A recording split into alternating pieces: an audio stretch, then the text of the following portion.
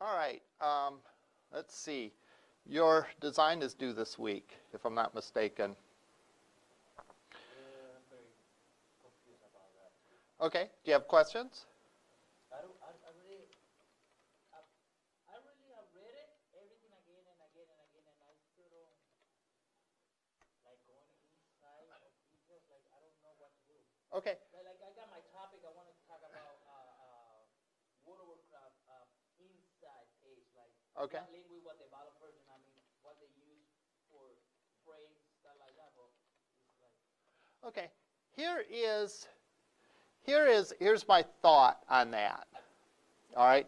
If you're having trouble with this, and this goes this goes for anyone, not just for the student that asked, but if you're having trouble with it, try to as soon as you can send me what you have. All right. Um, the, the student indicated that they had reviewed it a few times and they're still kind of confused about what was expected, and, and I can understand that. Um, my suggestion would be to take a shot at it, all right, and turn it in, and what, let me rephrase that. Um, email it to me, all right. Remember, it's always better if you want a quick answer to email instead of grading. I've actually done a pretty good job, knock on wood, keeping up grading, uh, at least for the most part. Um, but if you want a more timely answer, you know, I grade typically once a week, but I respond to my email every day. So if you're not sure about something like on the project design or really any assignment, email it to me and say you have questions.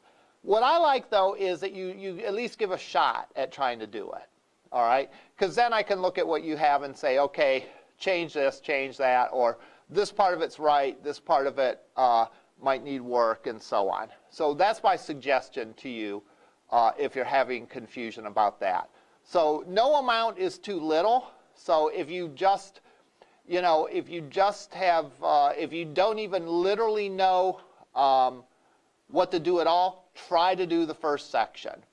All right, and and to the best of your ability, try to do what the first section of the design is asking you to do, and turn it in, and I'll take a look at it, and we'll decide if it, you know, we'll decide if it needs work, and then you can go on to the next section and the next section. Uh, remember, as far as, you know, it is due this Wednesday, I believe, your design for your project. But as far as that goes, I'd rather see something that's done like really well that you turn in Friday than something that is, you know, um, Not so good, yeah, or so-so, or whatever that's turned in on time.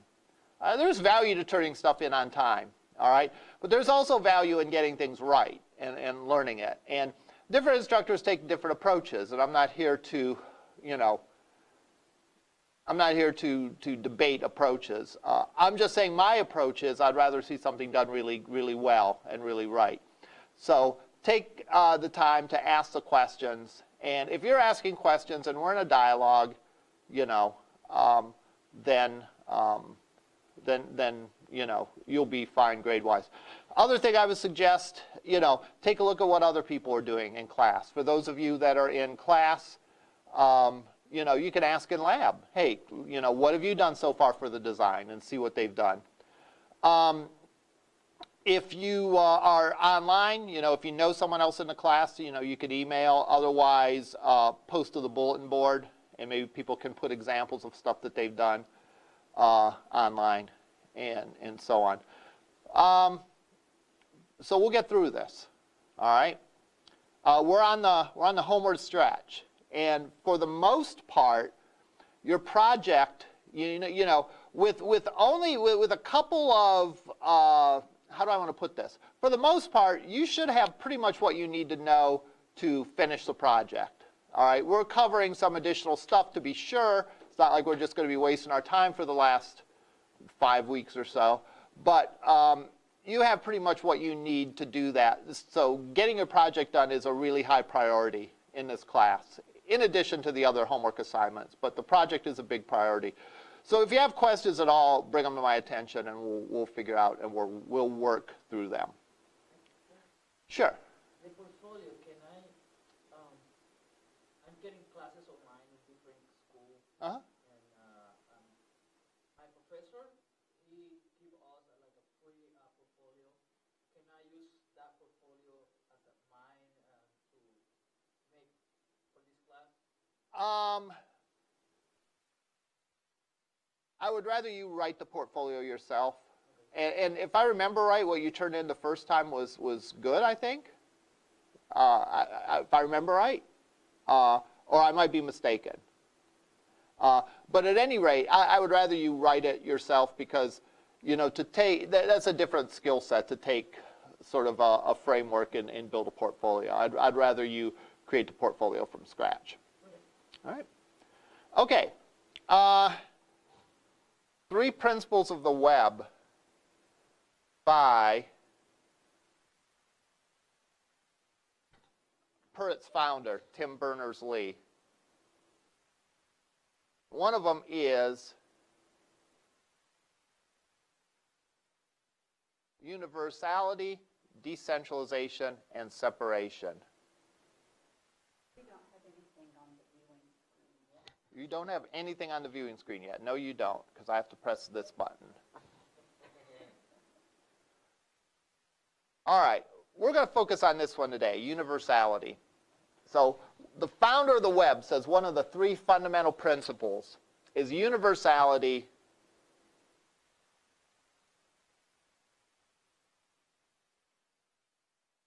and here is his definition or description of that. When you make a link, you can link to anything. That means people must be able to put anything on the web, no matter what computer they have, software they use, human language that they speak, whether they have a wired or wireless connection. All right? This is one of the fundamental principles of the web is universality. If you think about the web, if it was the Microsoft World Wide Web, or the Apple World Wide Web, or the Linux World Wide Web, or the computer World Wide Web, as opposed to the mobile device World Wide Web, or if it was the United States World Wide Web, or the European World Wide Web. None of these things would be as powerful as the World Wide Web. So the sort of the assumption from the start was that it would be universal. I mean, if I remember right, even in Independence Day, the movie, when the aliens came from outer space, Will Smith was able to tap onto their computer pretty quickly, all right, and hack it. I might be remembering the wrong sci-fi movie. So it seems like it was on the web too, right, as quickly as he was able to do it. But at any rate, the whole idea of the web is universality. So it shouldn't matter what device you have, whether you have a desktop device, a laptop, a handheld device. It shouldn't matter what the brand of the device is if you have Apple or a Microsoft product or a Dell computer or a uh, Motorola phone or whatever. None of these things should matter because it should be universal. All right? And if the web wasn't universal, it wouldn't be nearly as powerful. If, like, you were like, well, I'm using a Hewlett Packard computer, so I'm going to go to search engine A and someone else is using a Dell computer and they had to go to search engine B. That wouldn't nearly be as powerful as experience as the web. With the web, all that's required is that certain protocols are followed.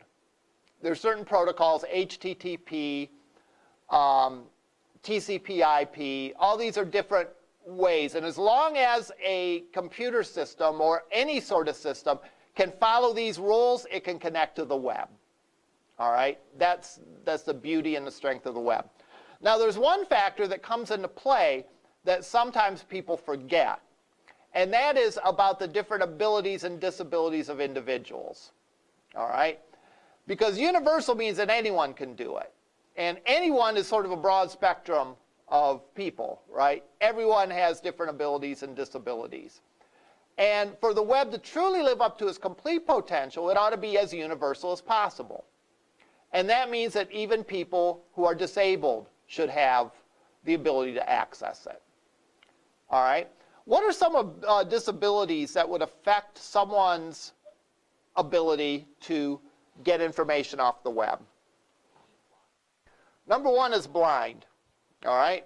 That's the one that's like the most obvious one that people can think of because typically you look at web pages. Is um, visual impairment, which is slightly different than being blind. Okay. And let's put underneath that visual impairment. And that's a great thing to bring up. Because sometimes you hear people talking about accessibility as being, you know, well, we have to make our website so that blind people can access them. And really, how important is that? Because how many people are blind? Ooh, that kind of stuff makes me cringe for a couple reasons. First of all, you know, there's a substantial number of people that are blind, and they're people too. And they ought not to be limited or restricted, you know, by barriers that we put up or by things or by steps that we don't take to make our websites accessible by people that are blind. So sometimes you hear the argument accessibility issues, such as the ones I'm going to discuss, don't really affect a lot of people. But they do. Because for a number of reasons. First of all, blindness is not the only disability that's relevant here. And we'll talk about some more disabilities in a second. But the other thing that comes into play is for almost every disability that you have, there's sort of the extreme case of it, where someone is blind. But then there are sort of lesser degrees of it where there's still an impact and there's still difficulty posed by this. All right? So, what are some other ranges, what are other, other, other kinds of visual impairment that would affect the ability of someone to access the web besides total blindness? Absolutely.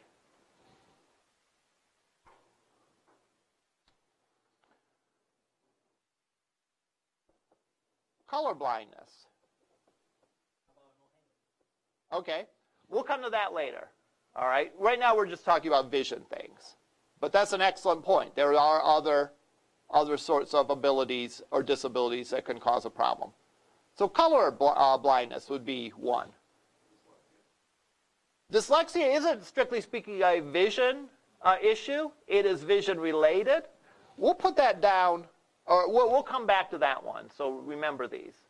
There's another one that may be off from this area, but in the reading of all of this, there are people who have problems visually with seeing things that flash because it can be actually cause Okay. There, there, are, there are people that are prone to seizures or epilepsy. All right. Again, that's not strictly speaking a vision-related problem, but we'll come back to those. Uh, I guess you could be blind, you can be colorblind, you can just have poor eyesight. All right. That affects people. All right. So no one in this class, I would assume, is blind. All right. I haven't seen any behavior that would indicate that. Is anyone in the class colorblind? All right. Uh, is anyone in the class have what they would consider poor eyesight? Yeah, absolutely me. All right. So that affects it because, you know, um, if something is small, I can't see it. If there, if the color contrast isn't good, I might not be able to see it, and so on. All right. So you don't have to be blind to be affected by the way that a website is designed. If you have a lesser degree of uh, an impairment, such as simply poor vision, um, you can also be affected. Now, there's two things that allow people to get around disabilities on the web. Let's start with vision first of all, and then we'll go off to some of the other areas. So the first thing I'm going to talk about is vision because, again, that's the most obvious disability. All right? Uh, and, but there's two things that sort of help people with disabilities access the web. And one of them is called assistive technology.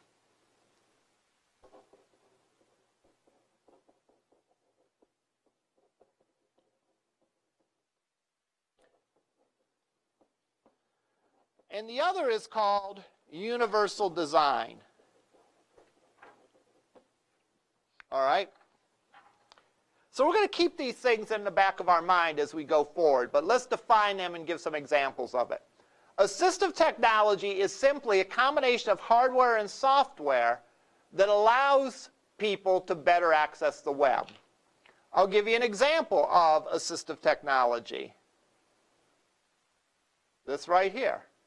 I go to a web page, my browser allows me to resize the text. So if I come to a web page and it's small and I can't read it, there's technology that will help me with that. There's assistive technology. And I can simply make the text bigger. That's a very small, simple example of assistive technology that can be used. That built into web browsers, there's the ability to zoom in. So you can't read the print because it's too small. You go to that, and you can make it bigger. All right? There's other examples of assistive technology. And in Windows, we can access them, if I remember, in this version of Windows. We go to the control panel.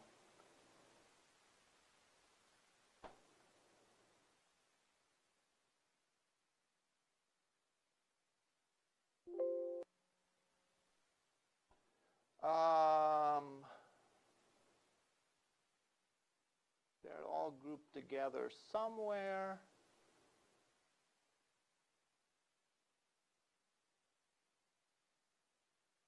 Ease of Access Center. Always scan this section. One of them is a narrator. All right? Microsoft Windows and other operating systems sometimes have built into them a narrator which actually reads the screen to someone. Now, Start magnifier. if I go and Start narrator. Start Narrator, Starting narrator. Ease of access center. Start on screen keyboard. Button. Ease of access. Set up high contrast. Button. Alt plus U. If you Tool. go and Tim access Berners-Lee this- Ease of access center. Start magnifier. Button. Alt plus G. Ease of access center. Start narrator. Button. Alt plus N. Tool. Start on screen keyboard. Button. Alt plus K. On screen keyboard makes it set up high narrator settings. To navigate the options in this dialog, ease of access center, start magnifier, button, Alt plus G. Tim Berners-Lee, three principles of the web ease of access center. Okay, this is a little Start behind. Tim Berners-Lee, three principles of the web, universality, decentralization, and separation technology voice, Google Chrome, scan off, notice as I tab through it, tab, tab, tab, tab, space, tab, tab, tab, tab, space, space. Question for you, when you do the tab, why does it not tell you what that tab is? that is a darn good question. Window. Tab. Tab. Narrator settings, to navigate the options in this dialog, including an option for the online user guide, press the up and down arrow keys. To review the full set of narrator commands, press caps lock plus F1. To start and stop narrator from the keyboard, press the Windows logo key plus Control plus Enter. Scan off. Caps lock. Search all commands. Okay, control stops reading.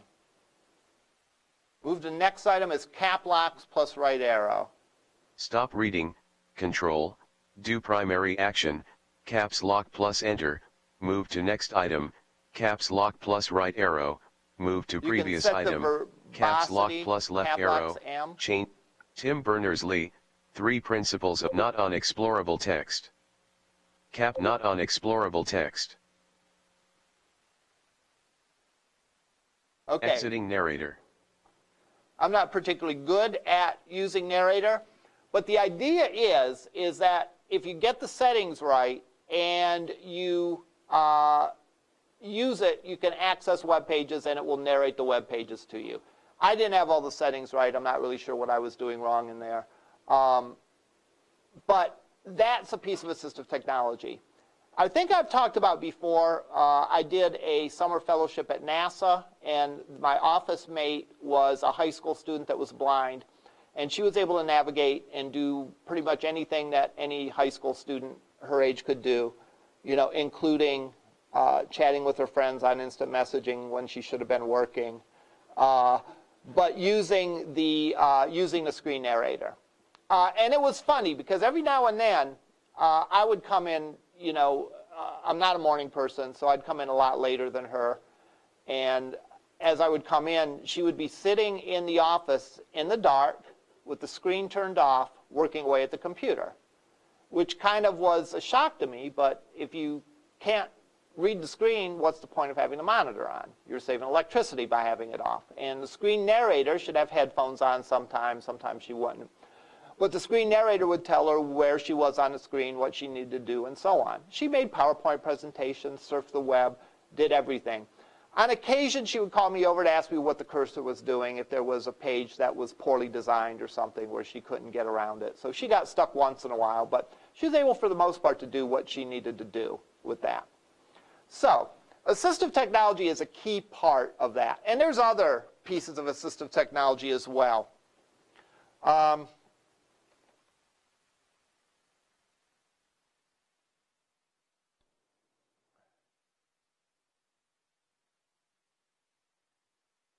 there is a on-screen keyboard that can allow you to type using a keyboard.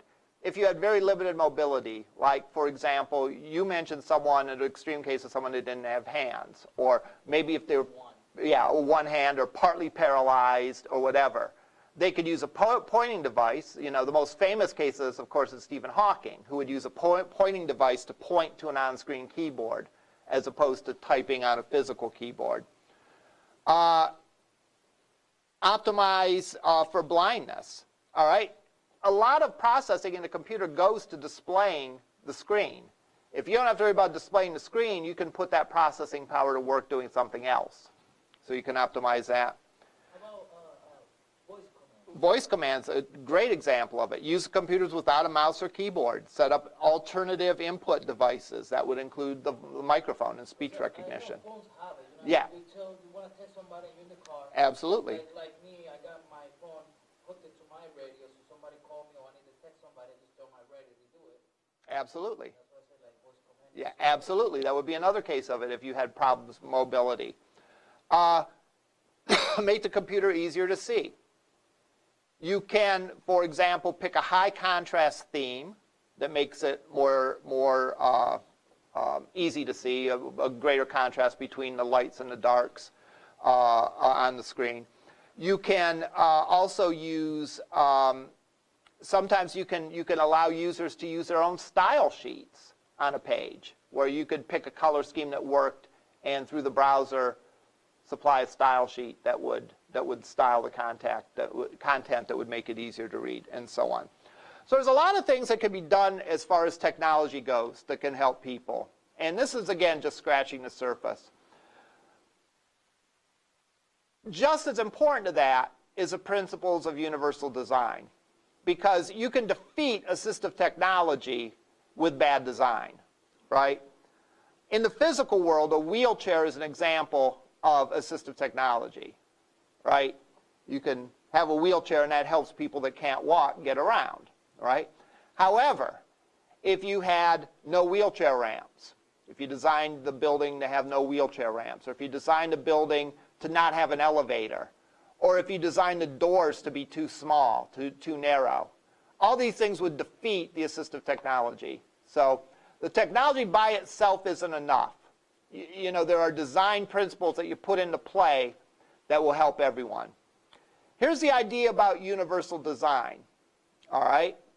Um, with universal design, the two main principles are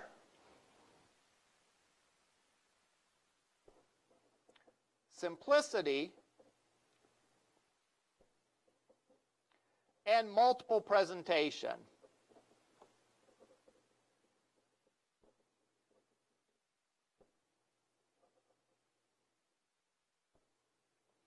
All right?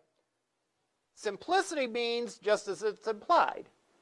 Simple websites are, are typically going to be more accessible than big, confusing, overwhelming websites. Uh,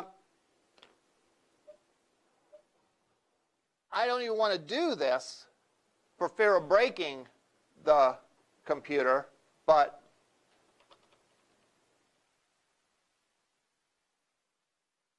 could you imagine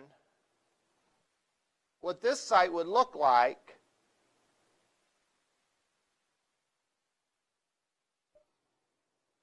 if we had it read through a screen reader?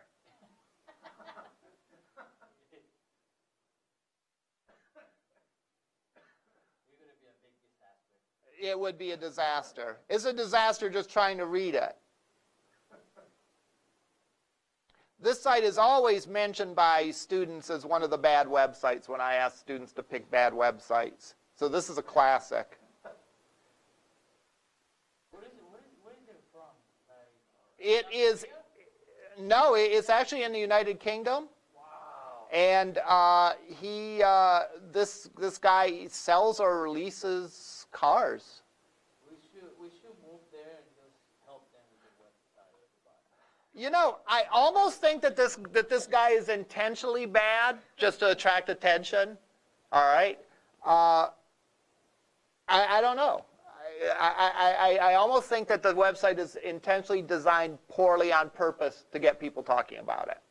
But that's another question whether that's yeah, he's famous now, exactly. The Guardian says Ling Valentine is Britain's biggest individual seller of new cars. So he probably lives in a bigger house than me, so maybe, maybe, uh, you know, maybe I should take lessons from him instead of the other way around, right? Now, contrast that with if you went to, say, Apple's website. Apple's going to have a relatively easier time with a screen reader telling you what to do, right? Okay, so first of all, keep it simple. Simplicity helps with accessibility. All right? The second thing is sort of a paradox, and that is multiple presentation. Multiple presentation can mean a lot of different things, but essentially it means either showing things two different ways or giving the option to show things two different ways. Let's talk about someone being deaf for a second.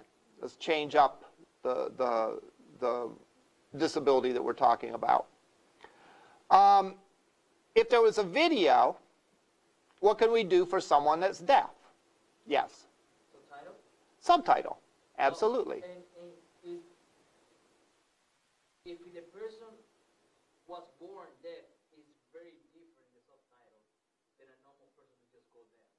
Uh, uh, that makes a lot of sense. People's like, what is the difference? The difference you was born deaf. You don't know what that word means. It don't matter somebody else tell you. You know I mean? That's fair. That's fair. You could have subtitles. The other thing you could do is you, have a you could have a transcript. Let's say I had an interview uh, between me and a musician, all right, on, on a site, or me and an artist. Um, you could have a video where you show that, and you could also have a transcript of the interview, all right? Now, universal design would say that that's a good thing, right? Now, you might think that that contradicts simplicity. Wouldn't simplicity have, uh, say, just, you know, just do it one way, don't do it a couple different ways, that's complicated. And the answer is no, it's sort of a balancing act, all right? Um, you wouldn't, for example, necessarily need to have a subtitles and a transcript. That might be overkill. But if you have a couple ways to do it to accommodate people of different disabilities, then I think you're uh, in the mark. Now, here's the interesting thing about that. Something like, like a transcript of an interview might help people that aren't deaf. How so? How could, you, let's say you have an interview, you have a video of an interview, and then you have posted underneath it the transcript of it. How could that help someone that's not deaf? Some people learn Uh, better visually than they do through. Okay, go ahead. If like somebody has a hard time focusing and they like keep zoning out or something during the video Right. and they go back Okay. That might help reinforce something uh, if they're if they're having trouble concentrating. What if you're in a noisy room? All right, and it's hard to hear something. What if you're in a room like our lab that doesn't have speakers on your computer and you didn't bring your headphones that day? Or what if you're like looking at this and say, do I want to listen to this interview or not? I can read really fast, right? I could scan the reading and say, hey, this is something I'm interested in. I'll watch it. Or, okay, I got the, I got the important points and I don't really need to see the full details. So those are all things that presenting a transcript along with a video could help people that aren't just deaf. All right? Then again, as far as deafness goes, there are people that are deaf and there are people that simply have lost a little bit of their hearing. All right? One thing that you'll notice with these and um, is that um, age-related conditions is almost a little bit of all of these disabilities. All right? So in other words, as people get older, they don't necessarily go blind, but their vision tends to be compromised. People that get older don't necessarily go deaf, but their hearing might not be as good. So you can sort of lump all the disabilities, milder forms of them, under age-related conditions, and you have a whole population of people that experience difficulty. I'm trying to bring this up for a few reasons. Again, first of all, to counter the thought that website accessibility is an issue that only affects a small number of people, the totally blind. It affects a whole bunch of people, all right? And the things that we do for accessibility can also benefit people that are not disabled. Just like in the physical world, right? There are elevators here right? And the elevators, you would say, is a piece of assistive technology to help people in wheelchairs get up to the second floor, right? But what else is an elevator useful to someone that isn't in a wheelchair? Well, if you're lazy, all right. If you if you're tired, all right. If you had a tough day, all right, and you just can't face walking up a flight of stairs, right.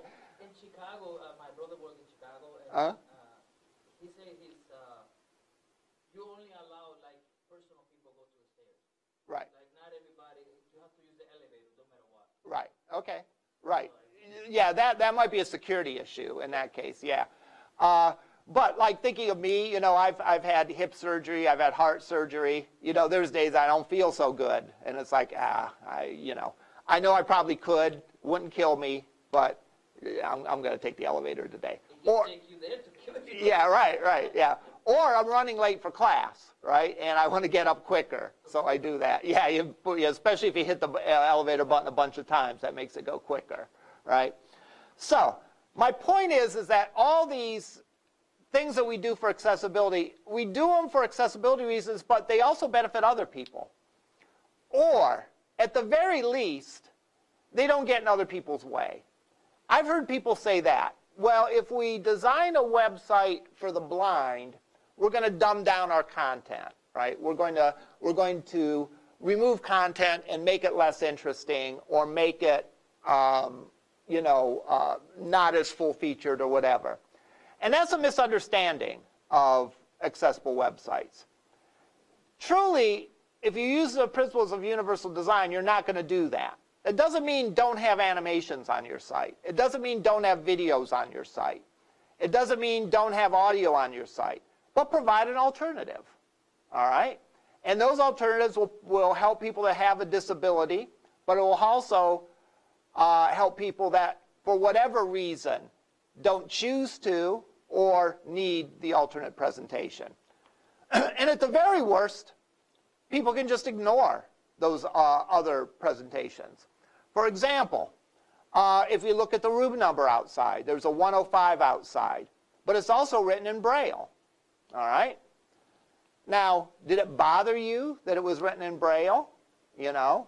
Did you think, oh, the fact that it's written in Braille in addition to be written with regular numbers, that makes it harder for me to get into the room? Or that makes it you know, less difficult or more difficult or, or compromises the design of the building or anything. No, you know, chances are there might be some people that don't even notice that it's written in Braille outside. You might go past it every day and not see that. All right? And that's the idea of, of universal design. You design it in such a way that you keep it simple, you provide alternatives. Those alternatives help people with disabilities, but they also help other people as well. All right? And if they don't help, at least they don't get in the way. All right? I go to a web page that has a video and I watch the video. Does it bother me that there's a link for the transcript underneath it? Probably not. Okay. Now let's look at the, the disability that we started looking at, vision impaired. And let's think of simplicity.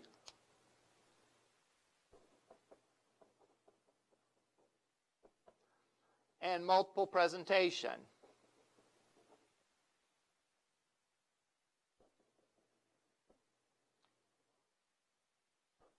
Simplicity would be things like not too much text on a page.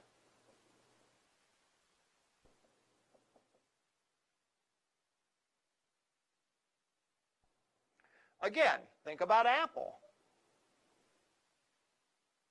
where there's not text on top of text on top of text.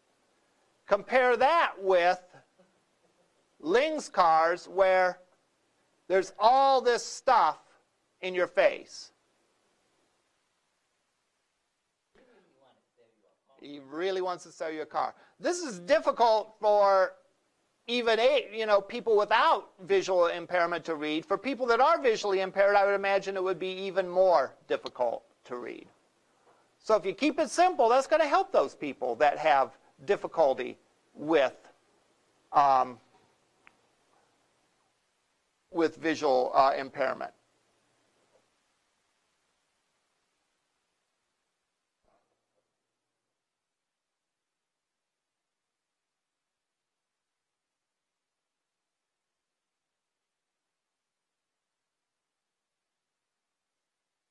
Use simple fonts. Make sure your fonts are easy to read. Don't use some of them crazy decorative fonts that um, you might think look good but make it impossible or difficult to read. Use good, simple color combinations.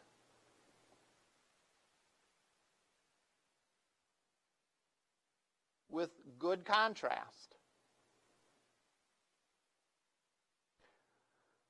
Those are examples of simplicity on a website that will help people that are visually impaired. If your, tech, if your page is simply designed, a screen reader will have an easier time with it.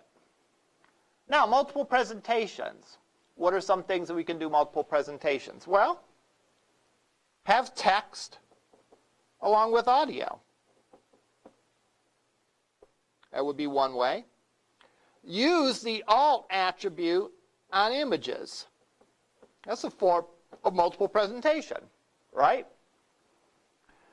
You're going to say, if you have an image, you're going to say in the alt uh, attribute what the image represents. And there's even another attribute, a description attribute, where you can link to a page that describes an image in more detail.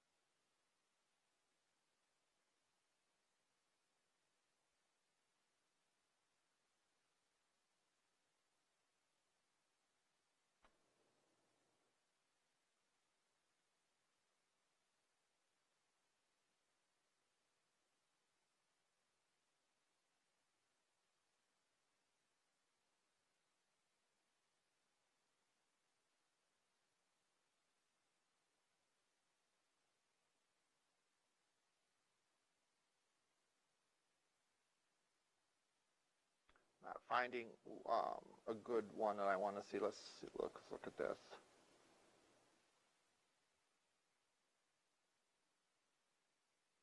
A long description, that's the one I was thinking of. You can give a URL to give a de uh, detailed description of it.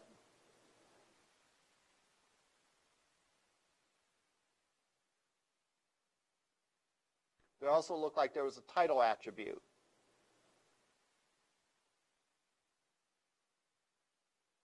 With image.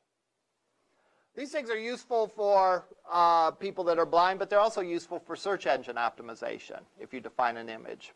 Because if your image is ABC123 JPEG, the search engine has no idea what that means. But if you have alt attributes and title attributes and long description attributes, you can tell what the image is for. Another example of multiple uh, presentations is with for people that are colorblind. A warning. Typically, you might think of a warning as being in red text. All right? And for people that can see red, that's a good idea, right? Because if everything on the page is in black text, if you have something in red text, it's going to make it stand out, right? Well, people that are colorblind, something in red text is not going to stand out. It's just going to look like gray, all right? And therefore, um, that won't be effective.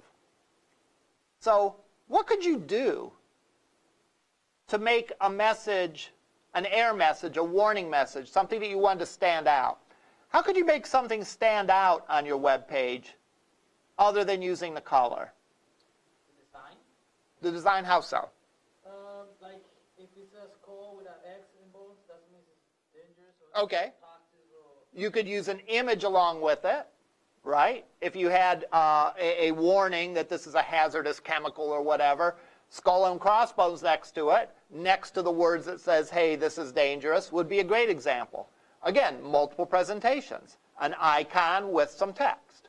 What would be another example? bold. Bold. Make it bold. Make it italics. Put a border around it.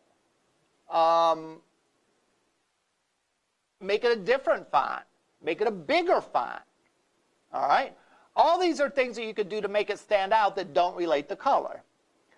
So as far as colorblind go, where multiple where multiple presentation comes in is that, well, um, don't just use color for things that you want to stand out. Use something else as well. Put a border around it. Flashing, Put an image. Flashing you probably want to avoid. but not flashing is like like um, like a movement, so they know like because when you go to a page, you see something moving, that's when you like.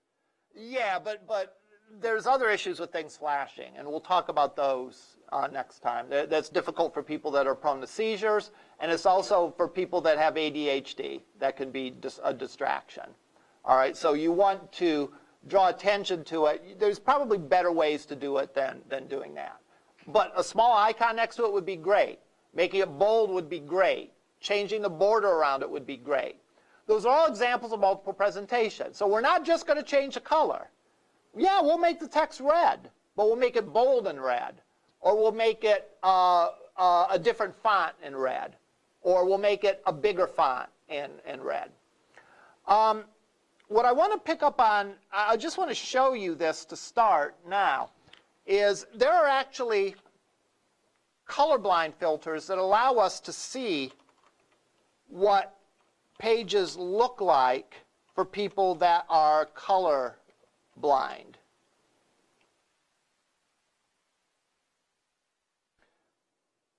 Because actually,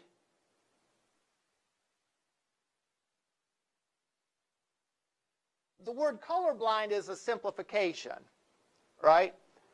Um, there's all kinds of different variations of color blindness.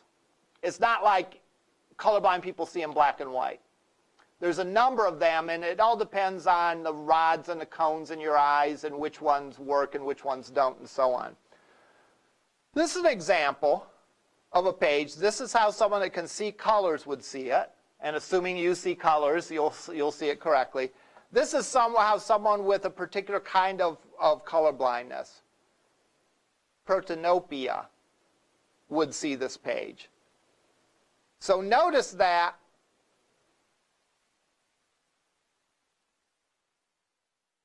So let's find a good example.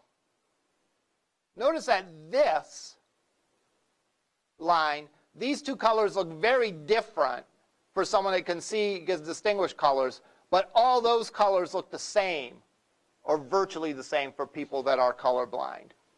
And you can pick the kind of color blindness you want, and it will filter the page and it will show you. So someone that has this form of color blindness, this is what they would see.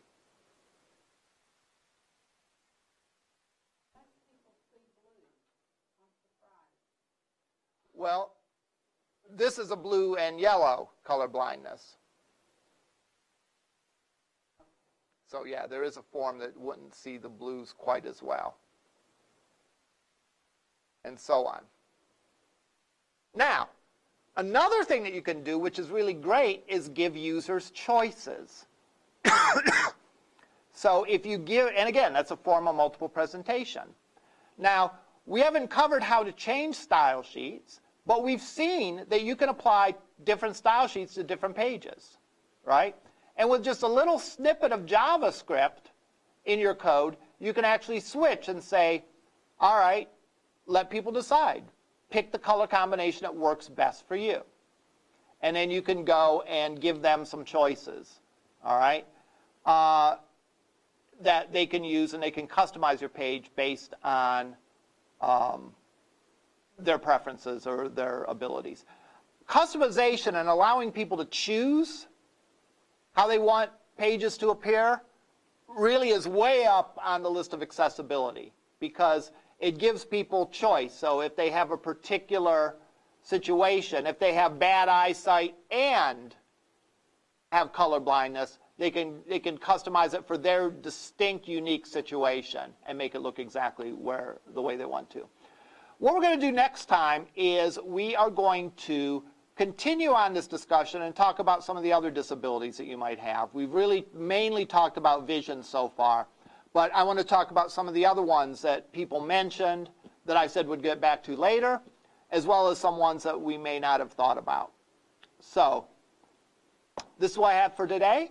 Uh, we'll see you up in lab. Question or comment? Yeah, one, one question on forms, because our next assignment that we have due in here has to do Right. an online form.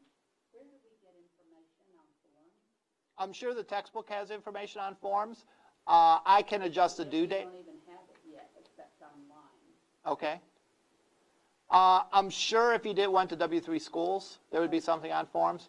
Uh, we did miss the one day. That probably is what put us behind for that. Um, if you uh, need more time to work on it, um, when is it due? Next week? Is due Wednesday? Yeah, if you're going to be late with it, that's fine. I understand. Because again, would be approximately, we have about maybe part of a class and then we'll start on forms. So uh, if I didn't miss last Monday, we probably would be on track to get that done on time. But if it takes you another few days, that's okay. All right, so yeah, don't press it. I'm not so unreasonable that if I haven't covered something to expect you to have it done. Otherwise, you'll end up talking about me in your other classes. All right. Yeah, we'll see you in lab.